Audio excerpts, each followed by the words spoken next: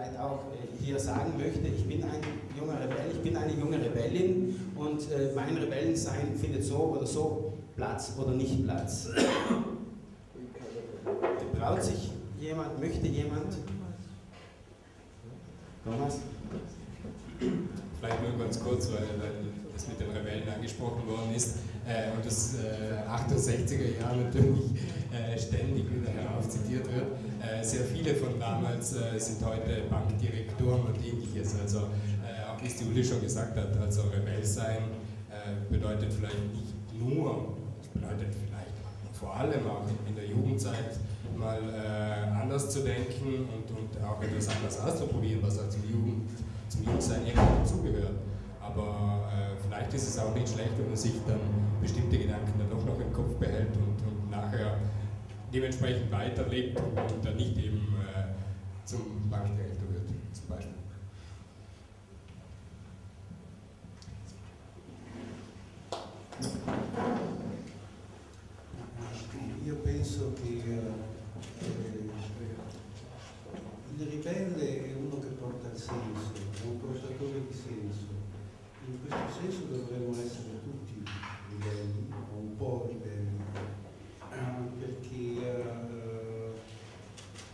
incapsularci in una categoria di pensiero uh, ci impedisce, ci, ci, fa perdere il senso di quello che, che veramente succede il senso delle cose, per quello mi è piaciuto molto l'intervento eh, dei, dei, dei, ragazzi che mettevano in discussione il concetto di, di ribellione, e, eh, perché è messo in modo negativo, diventa una cosa, un fenomeno appunto del, eh, degli stati limite della nostra società.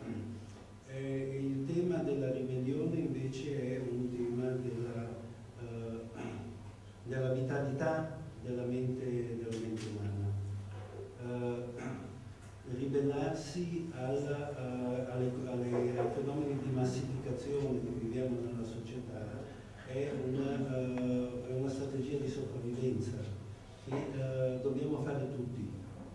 In questo senso io non mi sento per niente eh, distante eh, dagli, dai ragazzi, eh, ma mi sento molto vicino e credo che un po' eh, gli operatori che lavorano in questo campo è un po' quello che vivono loro, cioè non c'è una distanza, sono molto simili, sono molto vicini a noi, ma non soltanto i ribelli eh, esteriori, eh, ma anche quelli interiori, come ad esempio quelli che trovo in psichiatria.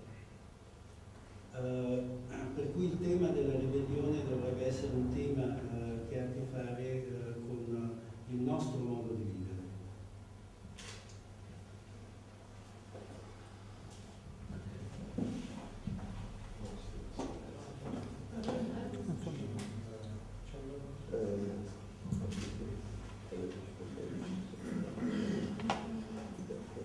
Credo che ogni parola abbia tanti margini. Allora ha una visione romantica, anche un po' romantica del ribelle, come inevitabilmente eh, è sicuramente qualsiasi adolescente, inevitabilmente vorrei contrapporre il discorso dell'anticonformismo e, e quindi la non omologazione, quello che ha detto quel signore lì, però che, che, alla fine faccia anche stare bene, perché la ribellione attraverso eh, lo stato psichiatrico o l'alcolismo o il suicidio o altre forme di spegnimento totale della natura umana mi rattristano molto.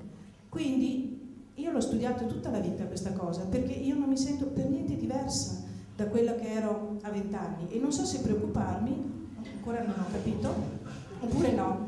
Io credo che pescando al fondo della nostra condizione esistenziale abbiamo bisogno di testimoniare la nostra specificità, la nostra semplice originalità, la nostra eventuale autenticità morale, cose di cui sentiamo l'esigenza, che sono dentro nella corteccia, la coscienza ce l'hanno tutti, non ce l'ho mica solo io o altri. Io però chiedo ai giovani di oggi, ma perché mai dovrebbero ribellarsi? A chi?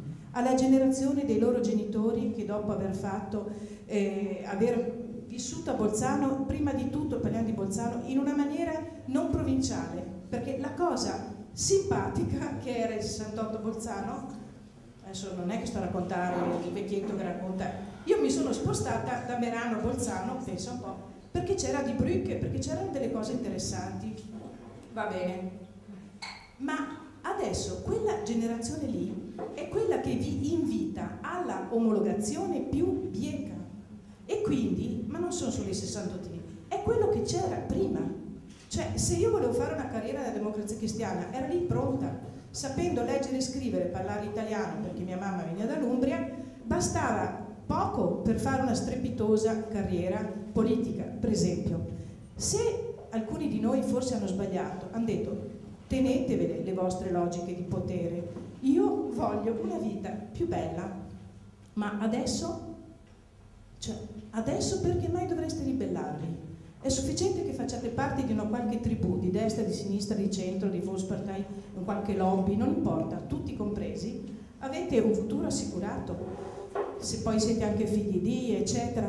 Ma perché mai? Quindi non rimane anche, rimane solo una condizione esistenziale di disagio nella quale forse qualsiasi essere umano si trova quando deve chinare il capo e dire troppi sì in continuazione e quindi non riesce neanche a esplicitare quello che potrebbe dare sul piano professionale, sul piano umano. Quindi o uno si muove a quel livello lì e comincia a dire dei no, ma senza necessariamente diventare uno strambo, senza necessariamente, secondo me, neanche esplicitare tutte le sue condizioni sessuali, nessuno va a chiedere agli eterosessuali i loro costumi sessuali.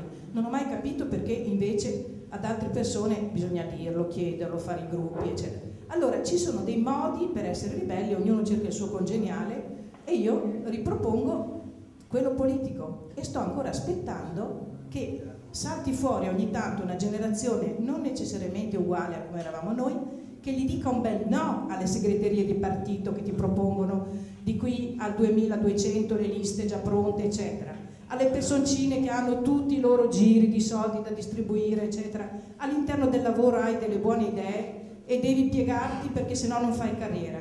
C'è un, un, un signor Kettmeyer che diceva che in Alto Adige si può diventare liberi, eh, veramente liberi, verso i 50 anni. Beh, insomma, mi sembra che sia triste.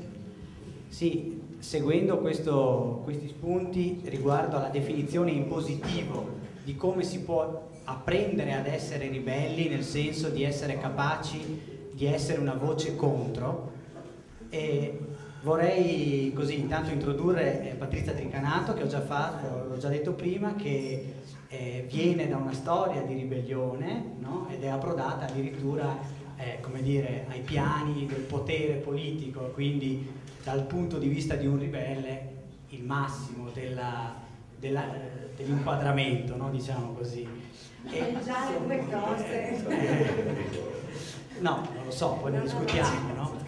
e, la, e, e, appunto seguendo questo filone, no? normalmente quando si nominano i ribelli l'idea è come si controllano, cosa fa la società per difendersi dai ribelli. Invece entrando nel filone positivo la domanda è come si può eh, in Alto Adige, a Bolzano, evitare che siano una specie in estinzione. No? Allora forse vedere degli scenari come educare, come creare una cultura della voce contro in Alto Adige, a Bolzano certo non c'è la ricetta, ma questo potrebbe essere, piacerebbe sentire ehm, intanto se condivide questa, questa, idea che a Bolzano sia più introdotta da, dagli ospiti che a Bolzano in Alto Adige sia più difficile essere contro, se la condivide e in caso la condivida che ci possa dire cosa si potrebbe fare in questo senso.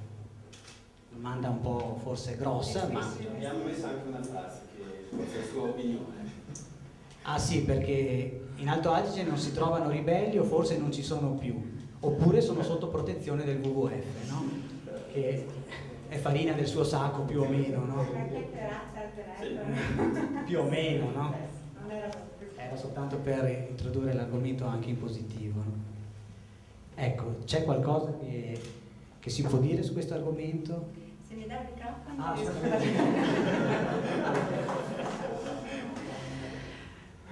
Allora sì, la domanda è molto complessa. Um, Innanzitutto voglio dire che essere ribelli, per fortuna di ribelli ce ne sono stati tanti nella nostra storia, perché insomma senza i ribelli eh, penso che... Ecco appunto, penso che, che, che sarebbe, non saremmo qui adesso. Vabbè, detto questo, ehm, io credo che appunto a Bolzano, nella nostra provincia, le ragazze e i ragazzi eh, non sono più ribelli, più di tanto, ma perché? Eh, perché credo che un buon ribelle eh, sia una persona che lotta contro il potere, che sia quello politico, familiare, istituzionale, scolastico, dei vigili urbani, in ogni caso lotta contro eh, un, un, potere. E, e credo che eh, in questi ultimi anni il potere si sia allontanato molto dalla politica. Allora lei ha detto una ribelle che è diventata una donna di potere, mm, non è proprio così. Ecco, il potere si è allontanato sempre di più dalla politica, il potere è più vicino all'economia, è più vicino ad altre scelte, insomma, ma alla politica sempre di meno. Per cui è difficile per i ragazzi eh, essere ribelli, nel senso eh, lottare contro la, il preside oppure contro l'assessore di turno, oppure è difficile perché non lo identificano con il potere, giustamente. Eh, per cui risulta veramente difficile essere ribelli. E poi noi siamo, noi istituzione, dico siamo a caccia di ribelli, benvengano i ribelli, che ci chiedano spazi per loro, che ci chiedano uh, luoghi di quello che volete, che ci chiedano alla, alla, alla, porta del comune non sono mai arrivati i giovani a fare richieste, ma perché non riconoscono il comune come il potere che può dare loro queste, queste cose. O forse perché sono interessati a questioni molto più, più grandi, non lo so. Però eh, il, il, fatto di eh, riuscire ad arginarli i ribelli, non abbiamo questo problema. Ecco, forse ci sono più eh, ribelli silenziosi, mm, gli educatori l'hanno detto prima, più, più privati, eh, dove fanno scelte di vita diverse, dove non c'è il senso dell'aggregazione per ottenere qualche cosa.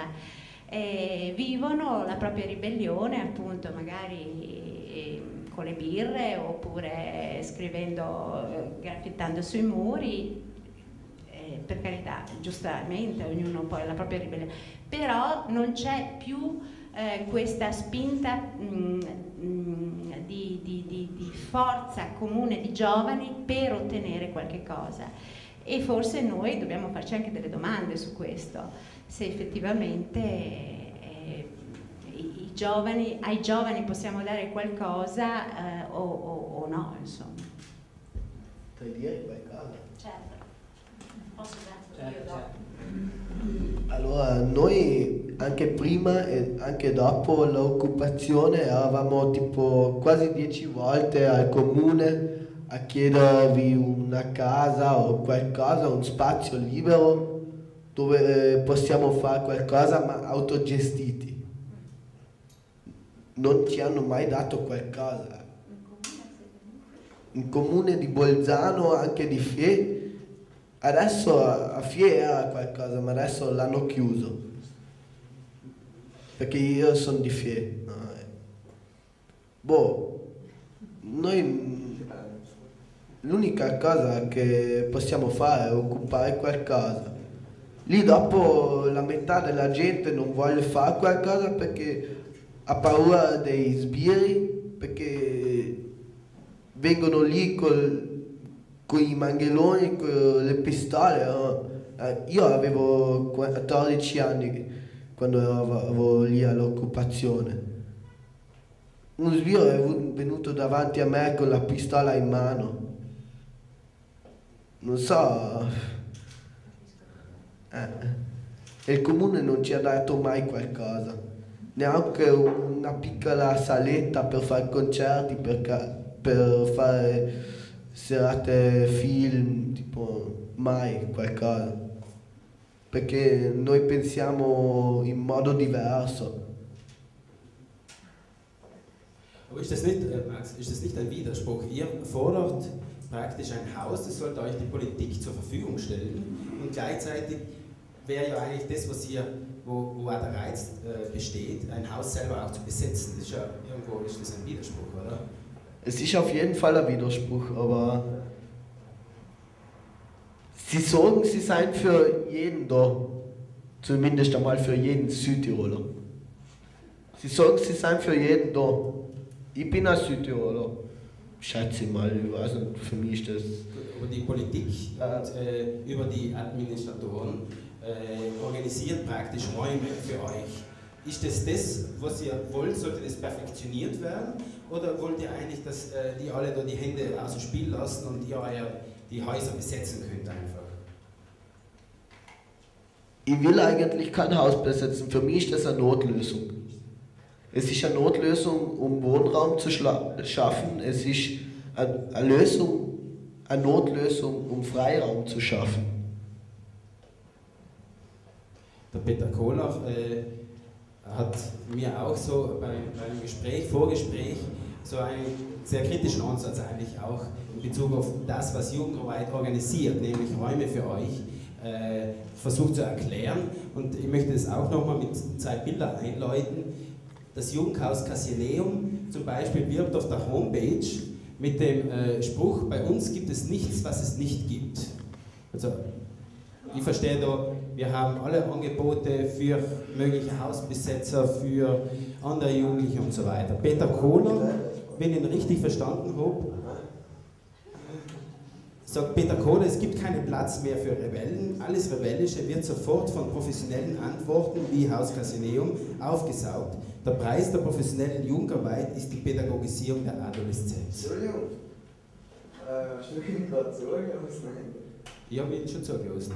Eine Antwort, die er vielleicht jetzt geben kann, ist genau die, ob die Jugendarbeit zu viel die Politik auch zu viel reinfuscht oder ob ihr eher möchtet die Freiräume einfach haben. So, das wäre ungefähr der Foto. Ne? Peter.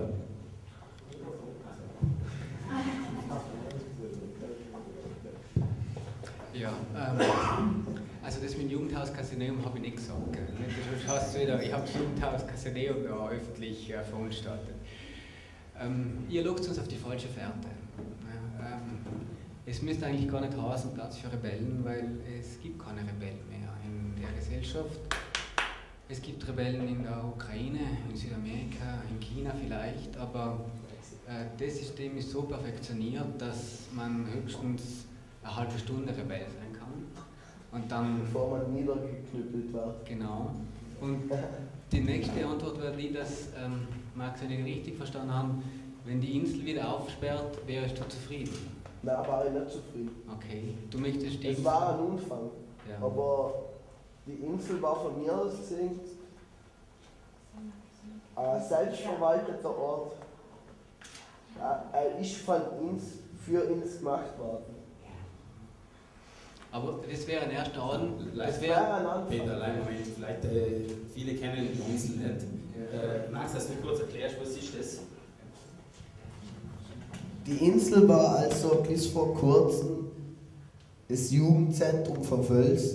Ist noch das Jugendzentrum von Völs, aber es ist von, also an zwei Tagen die Woche von zwei bis sieben geöffnet. Also für mich ist das nicht ein Jugendzentrum, für mich ist sowas, wo man hingehen kann, um Karten zu spielen, wie ein Bar oder so. Für mich ist ein Jugendzentrum was, was einen auffangt, was an, wo man hingehen kann, wenn man Probleme hat, mit seinen Kollegen zusammen reden kann, wo man einfach gemütlich beisammen sein kann, ohne gestört zu werden. Wieso haben Sie das zugesperrt? Weil die, wäre das zugesperrt, der Platz? die Gemeinde und die Carabinieri von Völs und Grün, weil die noch äh, praktisch, es war äh, noch irgendein, ich weiß nicht mehr was, noch ein Wolkensteinritt war Party da noch im Jugendraum. Und da sind halt die Öffnungszeiten überschritten worden. Und es waren vielleicht eine Gruppe von fünf Leuten, ich weiß nicht wie viele es waren, ich war nicht dabei, ich war zu der Zeit irgendwo anders. Und Deswegen, es waren halt eine, eine Gruppe, die in der Umgebung ein bisschen randaliert haben, was ich eigentlich schlecht finde. Gott in der Umgebung von solchen Zentren, die einfach nicht gewusst haben, was sie machen und deswegen ist jetzt gesperrt. Ähm, ich glaube, ähm, wenn wir den Diskurs mit den Rebellen auftun, ähm, hört ihr mir lauter?